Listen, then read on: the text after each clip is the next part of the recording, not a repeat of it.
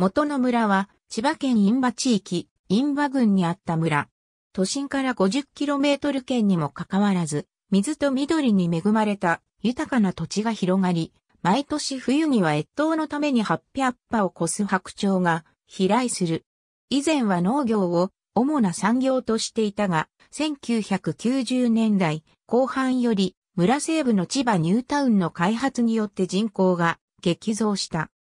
また、成田空港が近いこともあり、2000年代以降国道464号沿道に企業の研究所や物流センターの進出が目立つなど、開発が進んだが、農村と都市が共存する街づくりが行われていた。歴代村長印西市、白石、印馬村、元の村の西に村の合併が検討され、2003年4月1日には、印西市、白石、印馬村、元の村合併協議会が設立されていたが、2004年7月の白石で行われた住民投票で反対票が過半数を占め、合併計画は白紙となった。詳細は北総市を参照。2006年、小川俊彦が、印西市、印馬村との合併推進を公約に掲げて、村長選挙に出馬し、初当選。印西市、印馬村、元の村の一市二村の枠組みで、市町村の合併の特例等に関する法律の期限である2010年3月末までの合併に関する話し合いを行うために2008年10月に印西市、印馬村、元の村合併問題懇談会が2009年1月9日には合併協議会が設置された。合併の期日は2010年3月23日、合併方式は印西市に、印馬村、元の村を編入する編入合併、新市の名称については、印西市とすることで、合併申請が行われ、2010年3月5日総務省、国時第73号で合併が決定した。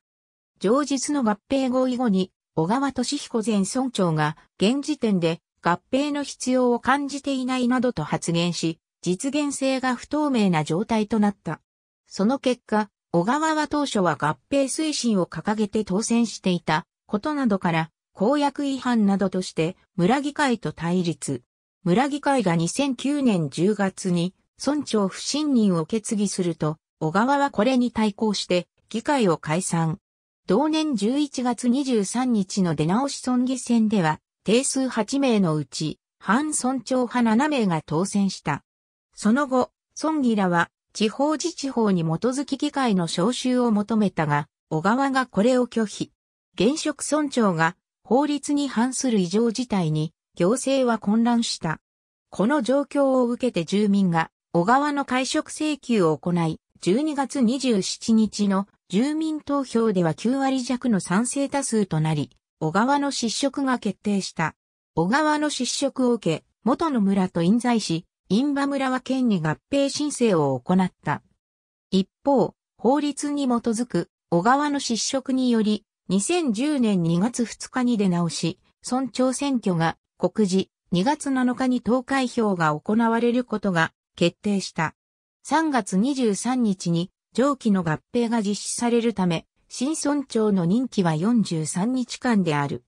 小川の失職が実現したことで、この村に行政に関する目立った争点は存在せず、小川を失職させた村民は何を基準に投票すればいいのか、税金の無駄と発言。村議は選挙をやる意味があるのか、村長の職務代理者を置く現状のまま合併すべきだ、と不法対応を主張した。出直し選挙には失職した小川は出馬せず、元村長の五十嵐勇が当選。投票率は55.52%と、村長選では異例の低さであった。以上のことから、と、3が、月足らずのうちに1、0円を超える税金が元の村選挙のためだけに費やされた。新村長の五十嵐は元の村民の名誉を回復させると標榜。43日間の村政のために7つの公約を掲げ、これにより予定通り合併が行われた。村内に鉄道は通っているものの駅はなく、バスも本数が少ないため車社会の傾向が強い。また、千葉ニュータウンに位置する印西牧野原駅周辺では、ベッドタウン化により、都心方面への通勤客も多い。国道国道356号国道464号南部には、北総鉄道北総線、北部には JR 成田線が通るが、駅はない。産経新聞、小川俊彦元農村長に不信任案可決。公職選挙法は50日以内に選挙をするよう定めており、法律を遵守するのであれば、村が存在する限りたとえ任期が1日でも選挙をしなければならない。元の村元の村長選挙の結果毎日、新聞元の村長選、五十嵐勇氏当選、任期はわずか43日間毎日新聞元の村、合併で消滅、新村長の任期は43日、2月2日告示。ありがとうございます。